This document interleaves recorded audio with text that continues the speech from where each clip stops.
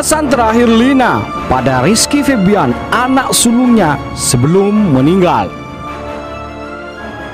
Musisi muda Rizky Febian mengenang pembicaraan terakhir bersama ibunya Lina Jubaida sebelum meninggal dunia pada Sabtu 4 Januari 2020. Ibunya memberikan pesan terakhirnya.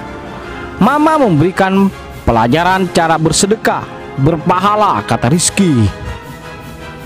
Rizky mengaku pembicaraannya dengan ibunya itu sempat membuat perasaannya tak enak.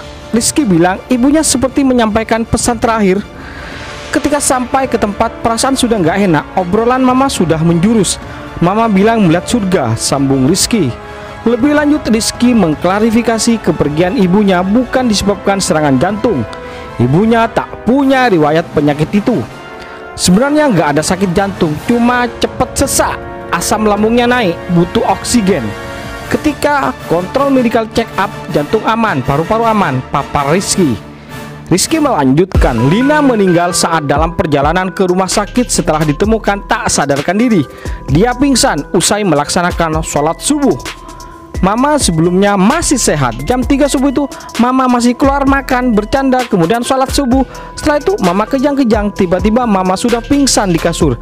Dan ternyata saat dibawa ke rumah sakit Dalam perjalanan sudah nggak ada tandas Rizky.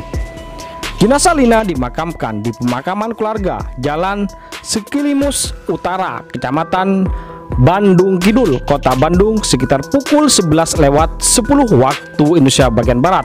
Pemakamannya dihadiri sanak keluarga dan mantan suaminya Entis Sutisna atau yang lebih dikenal dengan panggilan Sule.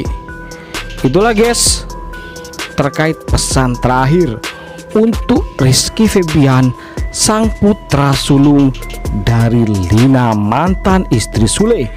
Bagaimana menurut kalian? Jangan lupa komentar di bawah, like dan subscribe. Terima kasih telah menonton.